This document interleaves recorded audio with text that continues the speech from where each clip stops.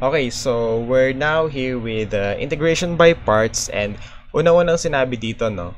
Um, if none of the previously mentioned procedures can be used to solve for an integral, one approach is to use uh, integration by parts. So, um, in short, kailangan test nyo muna yung dalawa kung pwede. Kung pwedeng impartial fraction decomposition or pwede rin nating i-try ko sub. Kasi if that's not the case, then um, may, maybe we will be doing integration by parts, but then again, it's not always the uh, best method to, uh, I mean, syempre, pag di nyo kaya, alam namang ipilit nyo, di ba? So, dito, if u and v, so, ito yung dalawa nating functions, no? We have u and v functions.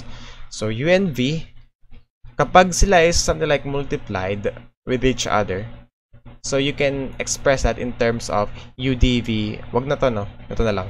UDV is equal to UV minus VDU. So ganito laging tatanda na. UDV is equal to UV minus integral of U, VDU. So yun lang yan. Para lang ano yan, para lang siyang yung galing dun sa ating total differential kung tatatandaan nyo no. So, ito, uh, uh, sabihin natin ulit siya. Basahin ko lang to, portion na to. The expression translates to the fact that the integral of a product of two functions is simply the first function times the integral of the second function minus the integral of the derivative of the first function times the integral of the second. So, di naman siguro mahirap yung intindihin. No? Now, ito yung mga certain rules na we have to remember bago tayo mag-proceed dun sa ating um, integration by parts. So, medyo marami-rami siya.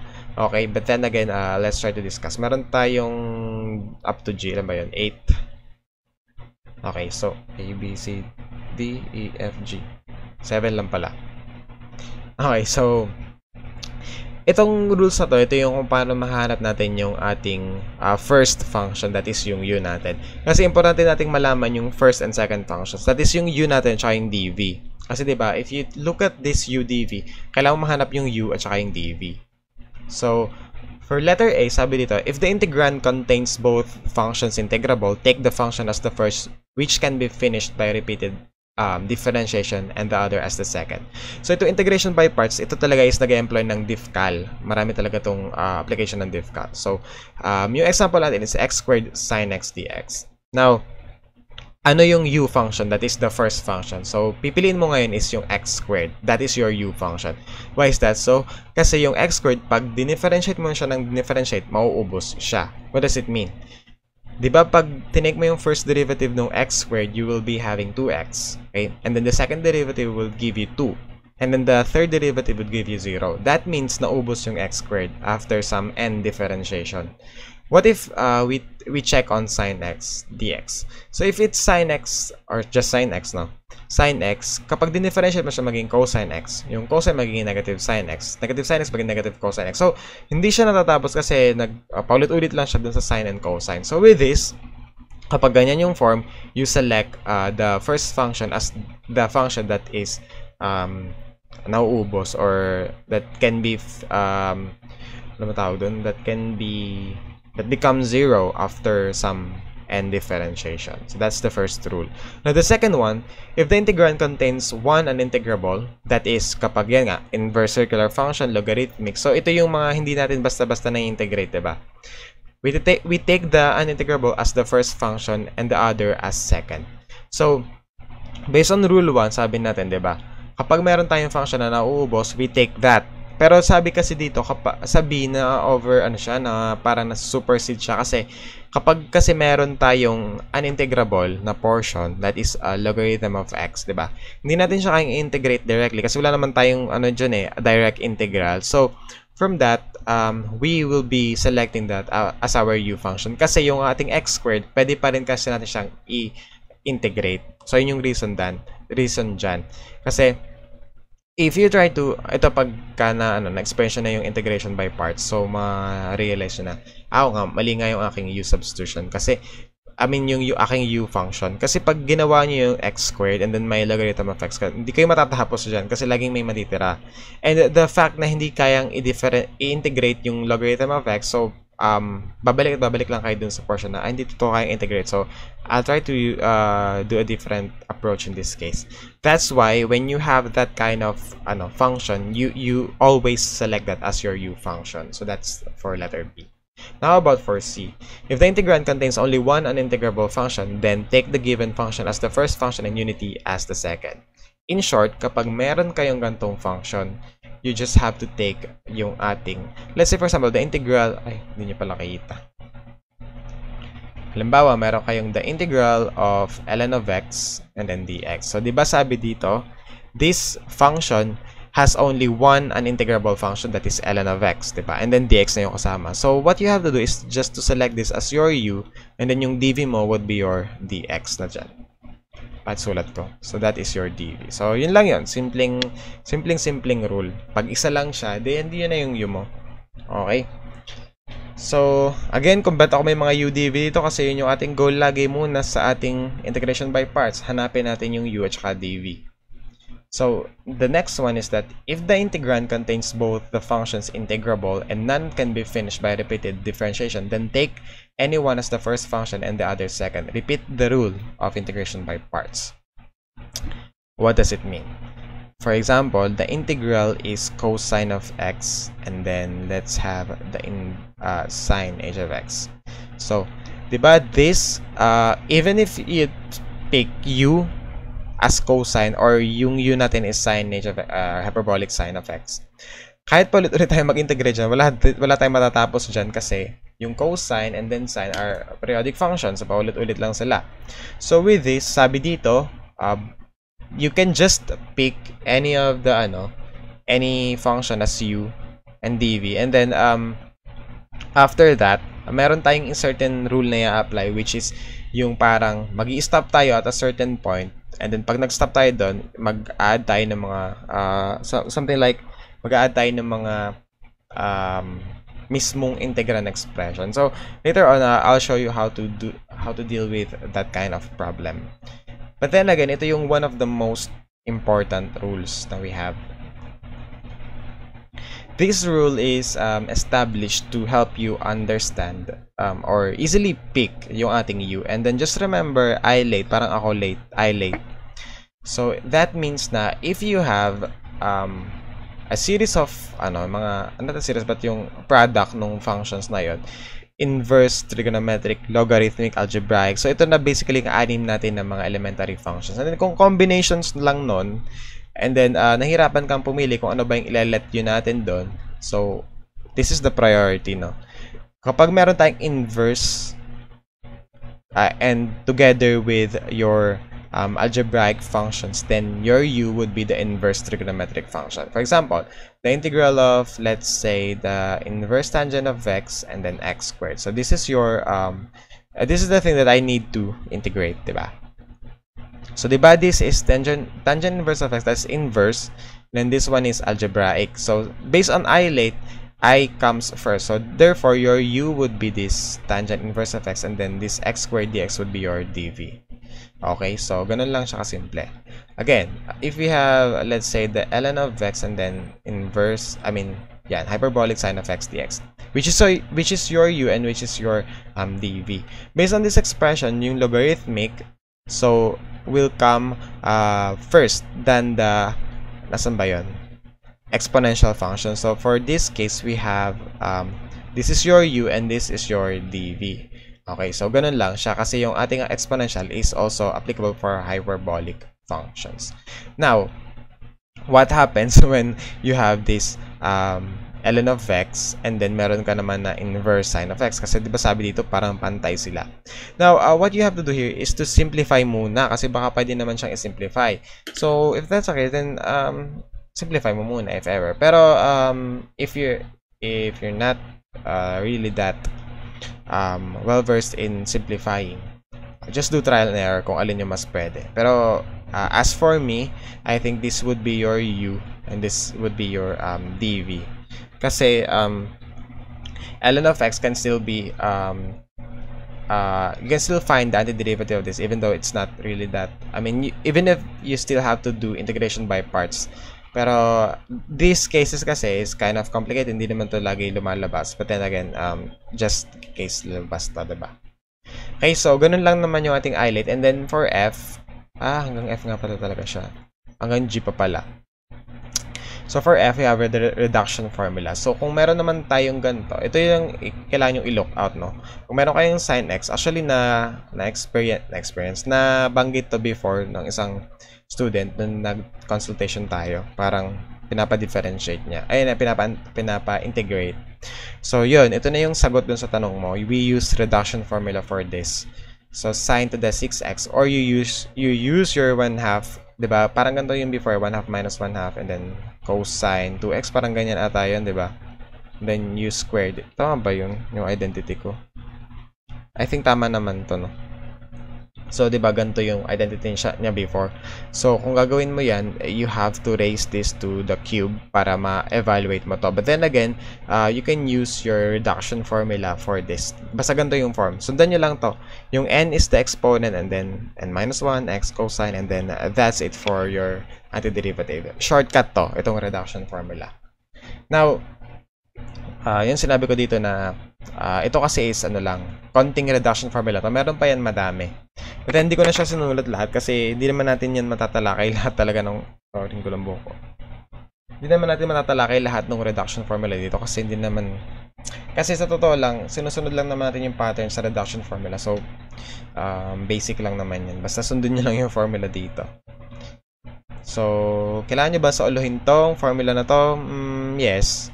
But then again, kung nag-exam naman kayo, di ba? Usually, uh, mag-open naman kayo ng notes. So, okay lang kahit di nyo sa uluhin masyado. May notes naman kayo eh. May module naman. Ito. Ito yung sinasabi ko. So, what if, ano, yung kanina, di ba? What if both functions cannot ano cannot be reduced to zero after some n differentiation. So dito tayo gagamit ng tinatawag natin na tabular method or DI method. This is one of the um ano best uh, method when you try to differ and I mean take the antiderivative of more complicated functions. So case A natin would be if u in the first function and dv is the second where dn or dnu or the higher order derivative becomes zero. So ito yung parang ano, parang ito yung rule number 1 natin. Tinabular method lang siya. Okay? So pag nag-zero yon, then this is your integral. Second one, kapag naman yung ating repeating is both repeating for u and v. So, once na magkaroon kayo ng certain expression dito na naging um, same, so you stop. Example natin is, though mamaya mas makikita nyo yung parang mas concrete example, pero let's just have this, ano. Let's say uh, we have, yun nga, yung cosine x and then inverse sine I mean, the hyperbolic sine of x. So, di the first derivative uh, of this cosine of x would be sine x or negative sine x. Then, uh, ano ba yung sunod? We have negative cosine of x derivative and then positive sine x, um, cosine of x. So, apat na lang muna, no? How about yung sine h of x? So, the derivative would be cosine hyperbolic of x. That's, alam naman natin na, di ba, uh, the reciprocal function will only be those na magpa-produce ng negative. So, for this, lagi lang siyang halinhinan for positive values. So, sabi dito, you stop sabi dito? If u is the first function and dv is the second, apply the, the same procedure above and stop when a row matches any of the previous row, usually the original or the first row. So, yung original kasi natin is cosine of x and then sine h of x. So, you stop when there is the same, ano, or there has the same pair na na-obtain na natin. So, cosine of x. So, uh, this one is cosine of x and this one is sine h. So, pwede ka na mag-stop dito. Though, uh, magkaiba sila ng sign pero you can just use this. Pwede yon Or, kung hindi siya applicable, pwede naman na mag-move ka further. Pwedeng ito rin, no? Uh, this can be the two options that you have. Pero makikita, naman, makikita mo naman yon na minsan hindi siya pwede or minsan pwede siya. Pag nag-zero yung ating magiging addition, pag inad natin, then naging zero. So, hindi yun pwede. Pero if it's not zero, then uh, you, you can pick that uh, pair. Basta kung mag-zero siya, then you, you move to the next pair. So, ganun lang naman siya kasimple. But later on, makikita nyo kung paano siya ginagawa. And then, finally, is this... Ah, wala na. Okay, so yun lang pala. Dalawa lang nga siya. Okay, so ganun lang yung quick discussion. Mas maintindihan siya pag nag-solve tayo. So let's head to the problem solving. Okay, so let's start our integration by parts no dun sa ating um, module. Pero kasi nakalagay sa module is solve uh, the following items using any methods applicable. So I'll just pick out yung mga pwedeng gamitan natin ng integration by parts and kung hindi naman, hindi natin sa solve. And I'll just be doing the odd numbers then ulit dito. Then gawin nyo yung ano, yung the rest of this kasi may answer naman. Okay. So let's start with number 1. Oops. And then uh, remember, I'll be using yung integration by parts sa lahat ng solution. So for number 1, we have the integral of x squared e raised to negative 3x dx. Okay, so sabi natin sa rule 1, yung ating u function would be those that can be um, differentiated repeatedly and then magiging 0. Or we can do your isolate and from this, based dun sa isolate natin, alam natin na yung algebraic expression will come first before the exponential function. So therefore, our priority would be the um, algebraic expression. So therefore, your u is equal to x squared and then your dv is equal to e raised to negative 3x dx. Now remember, kasama lagi sa inyong pagsusulat yung dx ha, sa dv. So, um, laging kasama yun. Now, sabi natin, the general formula, let's use another color. Sabi natin yung general formula for finding the antiderivative would be that if you have an expression u dv, which is this expression, that is um, equivalent to uv minus the integral of v du. Okay? So from this, we need to find the derivative of your u, which is actually equal to 2x dx. And then, of course, kailangan nating hanapin yung antiderivative of this expression, which is um, v in this case. And ano ba yung antiderivative niyan? So remember, that becomes negative um, 1 third e raised to 3x kasi um, wala nang plus siya. Kasi uh, alam naman natin na yung derivative nito would result to chain rule times negative 3. That's why meron tayong inverse operation that's negative 1 third. Okay, and then writing this, so we have the integral of x squared e raised to negative 3x dx is actually equal to uv. So, you multiply just yung, at, you just multiply yung uv natin. So, that is negative um, 1 third e raised to negative 3x times x squared. So, ganyan siya, uv, and then minus the integral of v du. So, parang uh, pa-diagonal siya, uv, and then um, pataas siya, v du. So, that is um, negative 1 third e raised to negative 3x and then times 2x dx. Okay?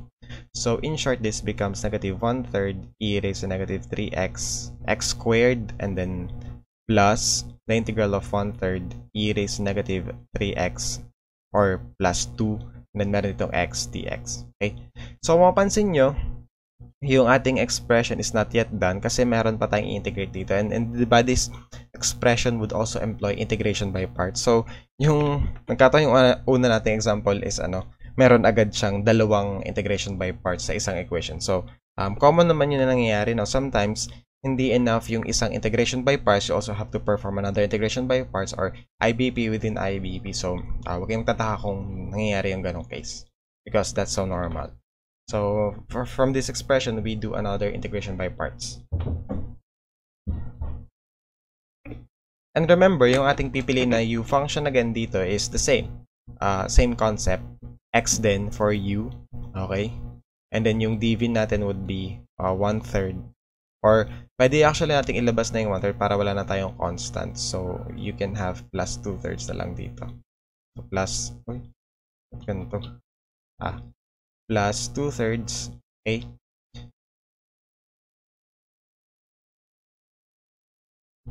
Okay, so we have here um, e raised to negative 3x dx. So your du would be dx and then your uh, v would be equal to negative 1 third. Ganun ulit. e raised to negative 3x. Ayan lang. Okay, and then um, rewriting this, so we have uv ulit, so that becomes x times our negative um, 1 third x e raised to negative 3x, so yun yun yung uv, and then v du, so that is minus the integral of v du, so that becomes negative 1 third e raised to negative 3x dx. Okay, so pwede natin siyang ilabas yung um, 1 third so that becomes plus 1 third the integral of e raised to negative 3x dx. Now, itong last portion, pwede natin siyang i-integrate. So, that becomes 1 third x e raised to negative 3x. Then, minus 1 over 9 kasi this one is negative 1 third. So that is minus 1 over 9 e raised to negative 3x plus c. I mean, yung plus c, sasama natin siya dito. Now, remember, this answer is obtained, I mean, this answer is obtained from this expression dun sa nauna. So, what we have to do here is to remove this and then substitute yung ating antiderivative in that case. So, that becomes uh, multiplied, okay? Multiplied by um, this expression, so that is negative one-third x e raised to negative 3x and then minus 1 over 9 e raised to negative 3x. Okay? And then we can now um, simplify this further. So, uh, let's have muna yung ating mga expression. So, we have negative x squared over 3 e raised to negative 3x and then I think we have, so magiging 2 thirds times negative 1 third, that becomes negative. I think that's negative uh, 2 over 9 x e raised to negative 3x and then this becomes minus ulit minus uh, 2 over 27 e raised to negative 3x plus c.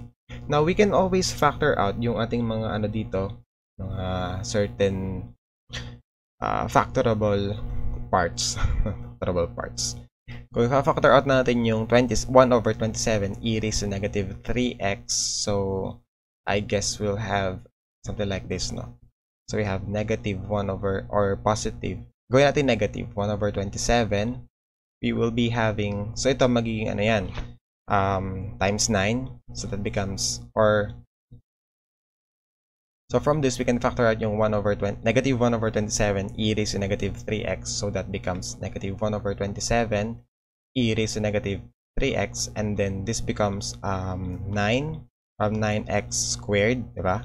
Kasi 1 third to. And then minus, so that is 3. So that becomes 6, di ba? So that becomes 9x squared plus, ano na lang dito, plus uh, 6, 6x, and then this is plus 1, plus c. Okay, so this is your final answer for this problem. Okay, so let's check kung same lang sila. Actually, same lang sila, pero iba yung factor out ko. Negative e is negative 3x ito. But then again, uh, if you if you trying to check each term, um, pares naman yung nakuha natin. 2 over 9x and then 2 over 27. So, um, it's just the same. Mas maganda lang yung form na nakuha natin ngayon dito. So again, um, just a quick reminder, pag mayroon tayong integration by parts, just find yung ating first function u and then your dv. As well as, um, remember, kapag hindi siya tapos, kasi meron pa tayong na huling portion na kailangan integrate, kasi lagi yung may integrate ka pa itong portion na to. Yan. So, kailangan readily integrable na yan. So, kung hindi rin, at pwede rin naman siya apply ng integration by parts or other uh, methods of um, integration, then you have to proceed with that process as well. So, yun for number one. Now, let's continue. So, for this problem, we have the integral of the natural logarithm of the natural logarithm of x all over x dx. So, ito, bago natin solve, let's uh, do some u substitution muna tayo. No? So, let we let u equal to ln of x. Kasi kung mapapansin nyo, yung derivative ng ating ln of x is exactly this dx over x. So, uh, might as well gamitin natin para mas madali nating uh, masolve to. So, we have du is equal to 1 over x dx. And this is uh, that portion. So, we have the integral of ln of, um, ln of, ah, sorry, mali, ganito. ln of, um, so that is ln of u, di ba? ln of u, or we can just use yung parenthesis. So, ln of u, and then that is du. So, ganyan yung magiging form natin, di ba? Napakasimple lang. And again, di ba, sabi natin sa rule number, uh, I, th I think 3 or 4, sabi natin na when you have um, a function that is, ano, pwede natin siyang uh, i-differentiate and then the rest would just be the variable of integration. You just let this as your first function. So this becomes your u, and then this is your dv. Now, um, since magre magiging redundant tayo sa paggamit ng UNV kasi U yung nagamit ko dito, let's ano, gawin natin to Y para hindi tayo maging ano, pare-parehas ng ginagamit na term. So, gawin natin siyang Y and then this one becomes L and Y and then dy. Para hindi tayo lang pare-parehas, no? Okay, so from this we have U So, itong, itong ginagawa natin, itong first part dito ha, again, this is U substitution, this is basic integration procedure. And sunod ka naman gagawin is special techniques integration using integration by parts. So, yung first function is uh, U, that is ln of y, and then the derivative would be, of course, equal to 1 over y dy. Okay, then yung ating v would simply be dy, so therefore, the derivative, uh, the antiderivative of this v would be equal to um, y. Okay? Kasi ano lang yan, parang, ayun nga, kung 1, parang 1 dy, so y lang yung antiderivative. Now, let's uh, rewrite this in terms of uv minus the integral of v du. So, that becomes y ln of y, okay, minus the integral of v du, so that is y over y times dy. And this becomes y ln of y minus, we cancel this out, and then the antiderivative of dy would be equal to y. Okay, so napaka-simple, ganun lang siya, and then plus c. Now remember, we have to return this or uh, bring this back to its original form. So that is, if we have y, that is ln of x. So that becomes ln of x, okay, times ln of ln of x, okay, and then minus ln of x, then plus c. Okay, so ganun yung ating magiging final answer. Napakaraming ln, no?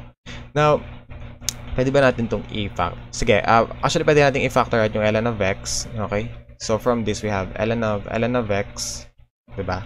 And then minus 1. So, pwede itong gantong form. But anyway, kahit naman alin dyan, okay lang yan. So, kung titignan natin yung sagot natin, um, ang pinaka-final answer dito sa handout is yung first one.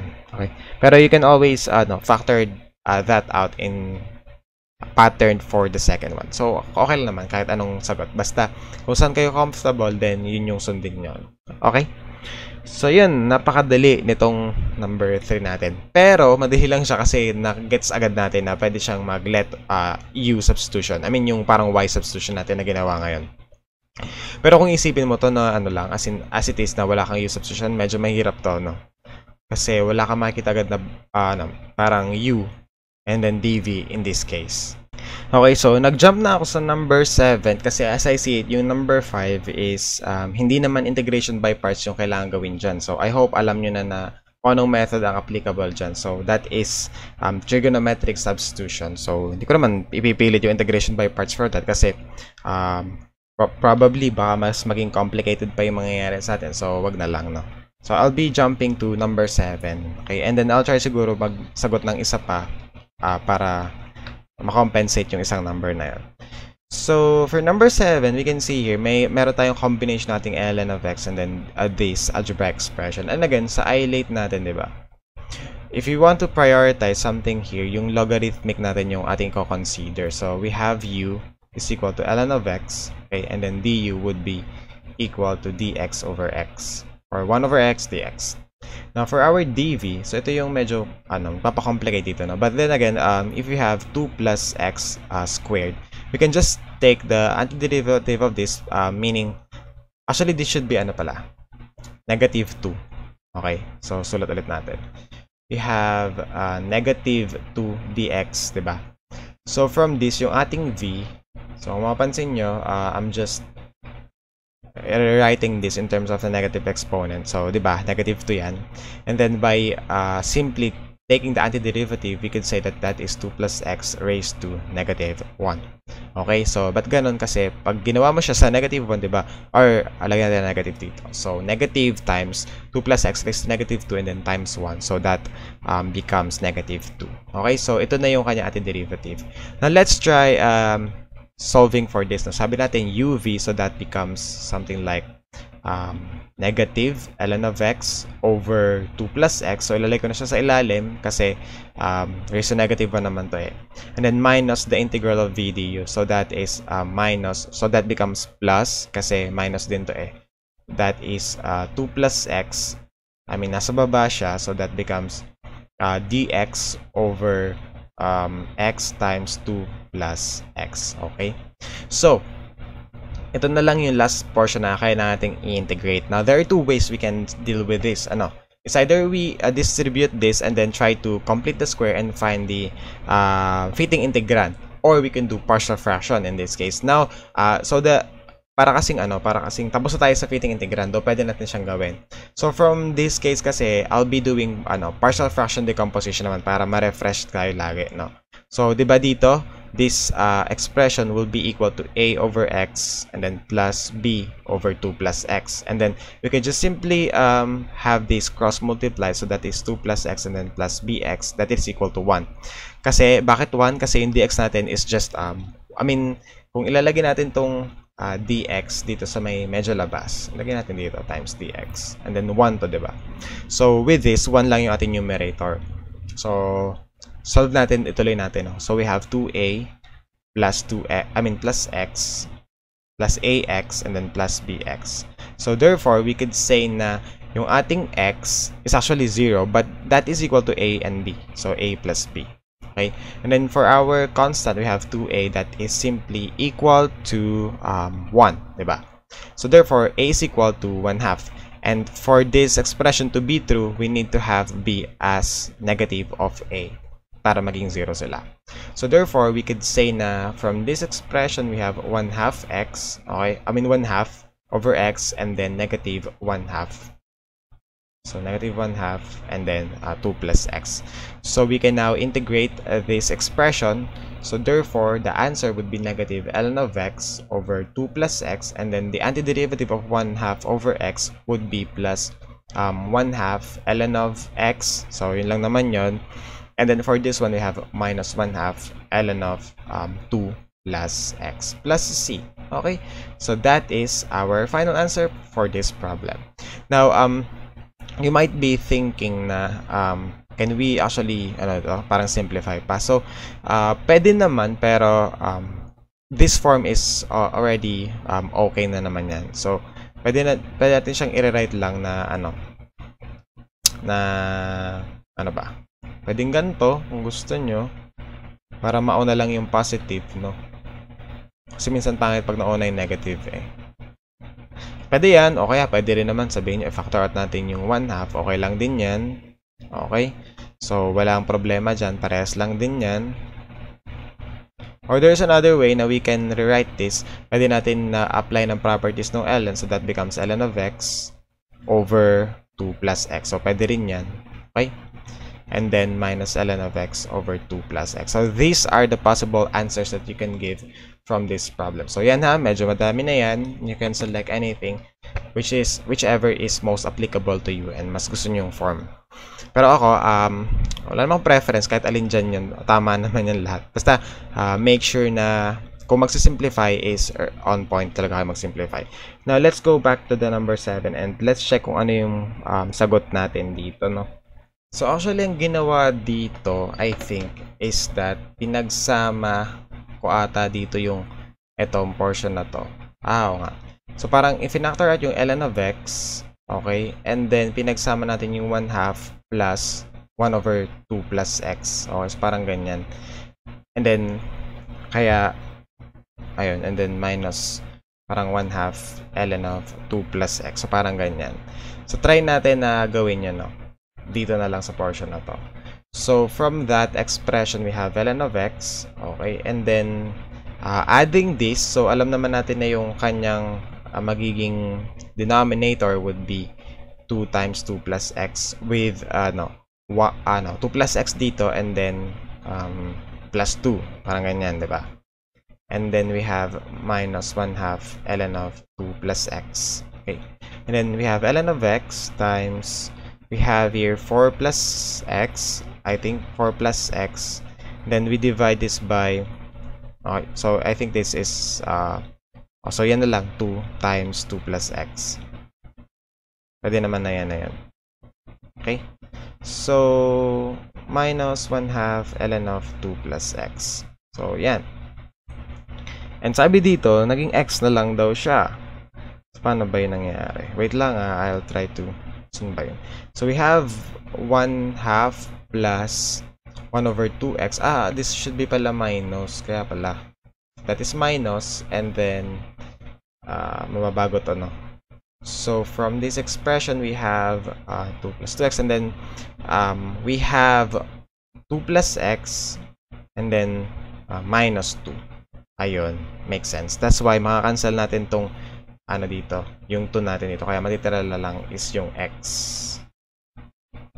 Okay. So, natira yung ating x. x na nga natira pa. So anyway, yon yun yun yung ano, uh, equivalent ito. So from this naman, we have ito. Pwede natin siya actually i-rewrite in terms of, ba? This is multiplied eh. So parang maging x, ln of x yan over hindi kita kasha. So dito na lang. So parang mangyayari diyan magiging x ln of x and then we have uh, we divide this by ano ba So from this we can factor yung ano 1 half natin kasi yung ginawa sa handout. So 1 half and then we have x ln of x, okay? And then we divide this by 2 plus x kasi na-factor out natin yung 1 half and then minus since pinactor natin 1 half, matitira lang is ln of 2 plus x. Okay, so this is yung form sa handout na eksaktong-eksakto. So ina na natin Sunod lang natin kung ganun nga siya. So, ganun naman nga siya. So, same lang naman yan kahit anong sagot nyo dyan. Meron kayong four forms dyan, kahit anong sagot nyo dyan ay will still be the same um, results. Okay, so that's it for number 7. So, ayan, change outfit na ulit tayo, no? And uh, for this problem, we have number 9. Okay? So, uh, add numbers yung ginagawa ko, no? And for this case, as you can see, uh, meron tayong um, combination of trigonometric function and algebraic functions. And the only way that we can deal with this is uh, through integration by parts. But before we deal with that, ano, alam naman natin na this portion ng trigonometric um, part cannot uh, be directly integrated in a way na um, we could use integration by parts. Kasi alam naman natin na we have to simplify this muna bago natin siya evaluate. So with this, let's uh, simplify this first. Now, I'll be taking these two um, signs here, sine t and sine 2t, so that I can apply yung ating um, identity. Now, let us recall that if we have sine A and then sine B, we will be having this identity, 1 half quantity cosine of A minus B and then minus cosine of A plus B. Okay, so you can uh, check on your handout yung um, you can check your handout kung dun sa module natin, no? So, dun siya sa under ng summary of basic integration techniques. So, you can go back to that and then recheck yung mga identities natin. So, I'll be using this to uh, simplify this term. So, that becomes uh, the integral of t and then that becomes 1 times 1 half.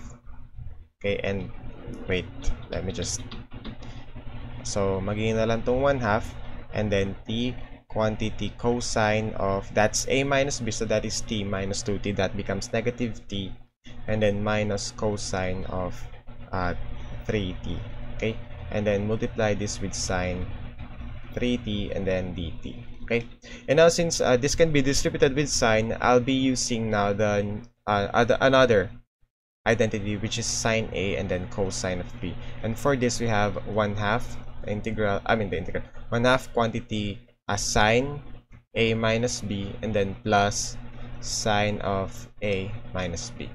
So I believe it's also in your um, handout.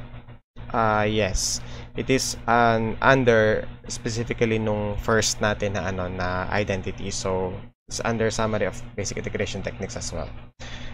So going back to this, no, oh, why do I have to use this identity? Kasi kailangan nating masiguro na isa lang term yung cosine and sine. So, with this, we have a 1 half. Ang gawin natin is distribute muna natin to, no?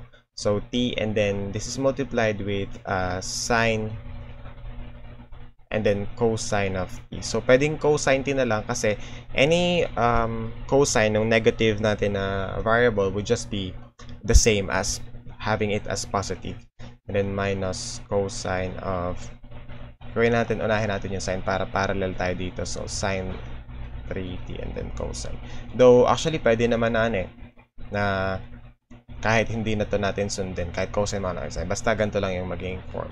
Okay, so for the first term, we have 1 half the integral of t. And now, this one can be um, replaced by 1 half and then quantity cosine, I mean sine sine of a minus beta is sine of 2t and then plus sine so that is um, a uh, should be ano pala, a plus b dito. So that is a plus b, so that is sine for t. Okay?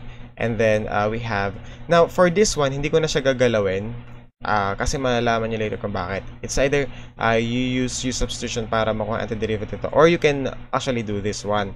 Pwede naman na gawin natin, pwedeng hindi. Kasi ito, pwede na, ito siya is pwede natin siyang integrate na madali lang. So, kahit din natin siya galawin. So, um, then again, since naka-multiply pala siya dito sa t, so kailangan pa natin siyang gawa ng, ano, more, I mean, simpler um, expression. So, with this, that becomes 1 half minus 1 half. And then, di ba, for sine and cosine, we have dalawang sine. So, that becomes sine of um, 6t. Now, naging ganito siya kasi yung 3t minus 3t becomes 0 dun sa una nating term. So, that's why natira na lang yung second, which is actually positive um, plus sine a plus b. So, naging minus 1 half sine 6t na lang siya. Okay, and then dt. So, with this, mas madali na siya ngayon integrate. Kasi ang gagawin natin ngayon is, let's try to have this na uh, distributed yung uh, integral sign. So, that becomes 1 fourth. And then, t Okay, t sine 2t. Okay. Then the next one would be plus 1 fourth then, and then t sine 40. And then finally, we have, I think that's, um, kasi diba ito 1 half, ito 1 half din, so maging 1 fourth din siya, no? So, minus, so, nasa na ba tayo? 1 fourth the integral of t sine 60. Okay, so ito lahat is uh, may dt pa yan. Okay, and then uh, we can now integrate this each of them using integration by parts. So, yun lang naman yung ano, nagpapakomplicate dito sa atin lagi. Kasi, uh, kailangan natin silang applyan lagi ng integration by parts. Then again, uh, the solution is just uh, this, no? um, wala na tayong paproblemahin dito. Ito na yung, ano natin, ito na yung solution natin for this case. So, uh, I think we'll be starting with this, no? Alam naman natin na, di ba, ang general form would be UV minus VDU. Dito natin siya ilagay. So, we have UV minus the integral of VDU. Okay? So for the first one, sabi natin dito, kapag meron tayong any variable na pwede natin siyang i-differentiate continuously and magzi-zero sila, so we'll be selecting that function. And in this case, that is t. Okay, so from this, we have u. So gawin natin, lagyan natin ng ganito. Hopefully, kasha yung ano no. So we have u is equal to t, and then du, of course, is dt. Okay? And then, we have dv that is equal to sine 2t dt. Therefore, yung ating dv would be equal to So, di, na, di kasya pala, no? I-move ko lang dito ng konti. So, for this, we have d, dv is equal to sine 2t dt. And then, yung ating v would be equal to So, ito pag din, in, uh, in-integrate natin, di ba, makuha natin is uh, negative cosine of 2t and then divided by 2. Okay, so di ba yan yan? Kasi that would be negative sign yung um, antiderivative, tas may negative pa dito sa unahan, so that becomes a positive sine 2t, and then times 2. Okay, so we have uv that is t over 2. Okay, and then cosine 2t. And then sabi natin minus the integral of v du. So that is the integral of v du. So that is um, 1 half. Or that becomes plus 1 half the integral of cosine 2t dt. Okay, so later on, saka natin to i-integrate. Pag natapos natin yung the rest. So from this naman, same ano lang din, same procedure gagawin natin. So u is equal to t, du is equal to dt, and then dv would be equal to sine uh, 4t dt. Therefore, yung ating v would be equal to um, negative cosine of 4t over 4. Okay, Therefore, yung ating expression would be uv that is uh, negative t. Uh, by the way, I forgot to include yung negative natin dito.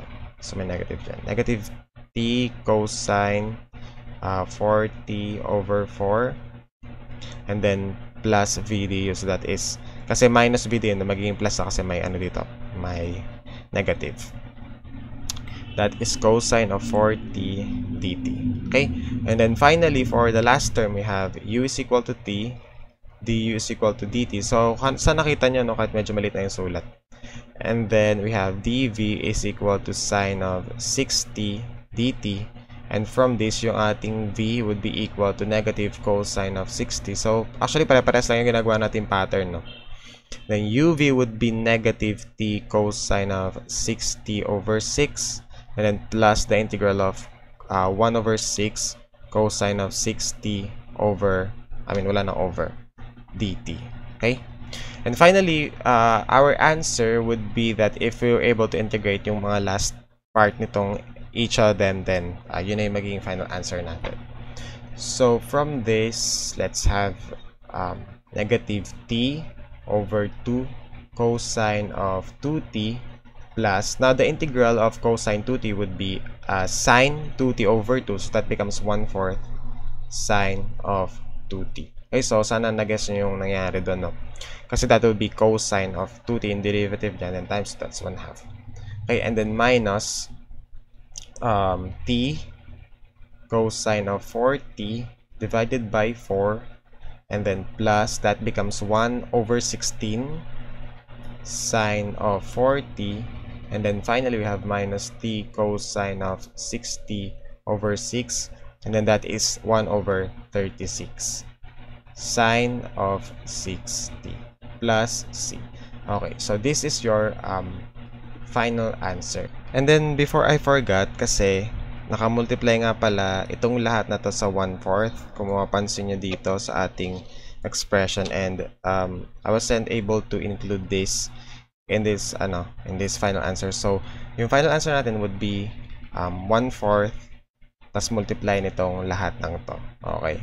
So yun yung maging final answer natin. Okay. So, pag chinek nyo yun sa handout, that would also be uh, the same naman. Okay, so that's it for this item. And um, ginawa kasi dito sa handout niya is nilabas yung 36. So, that is parang um, 36 at saka ano pa ba? Yung mga factor nung 6, 36, 4 and 16. So, 576 kasing LCD nila eh. So, yun. So, parang 144 times 4. Ganon. So, 144 times 4. So, 576. That's why yung um, expanded form would be parang um, 1 over 8 for this, uh, 1 over 16. So, ganun lang naman siya. But then again, it's just the same, no? For this expression. So, let's check. For example, yung sine 2t. Yung sine 2t natin is, uh, that will be 1, 8, diba? And from this, di ba, meron tayong 36 over 576 which is actually 1 over 16.